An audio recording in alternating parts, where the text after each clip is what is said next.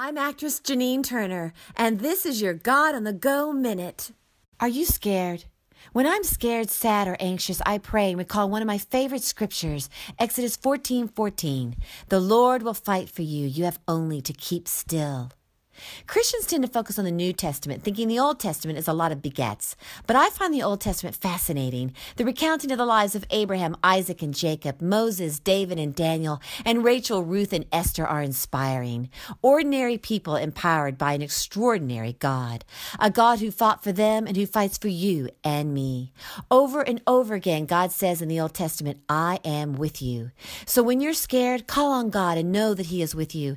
His mighty chariots of fire surround you and keep you safe. His strength will prevail over all fear, sadness, and anxiety. This is Janine Turner with your God on the Go Minute. Go seek, go share, go serve.